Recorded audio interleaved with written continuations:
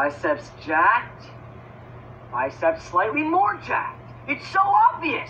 You're horse face guy, you're horse fake guy. Wow, I'm on fire today. Gilbert, are you down here? No, I'm just, I'm not doing anything. I'm just down here. I just wanted to come down and have a quick chat with my bud. Just feels like ever since I started talking, you've been acting differently. What? I, I mean, what? Listen, my life's been a roller coaster lately, and all the changes have been hard for me. I'm just glad I've got a good bud like you I can count on. Wow. I never thought of it that way.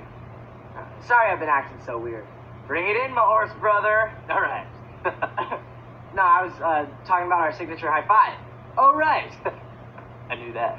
I have this, and then around, and then, oh, oh, you're done. Aha! You walked right into my trap. The real horse face guy would know our high five. You're not the real horse face guy. You're right. I'm not. You're not? I was right? For the first time in my life, I was right. Now I've got you both. Horse face guy, really scared. But I was right.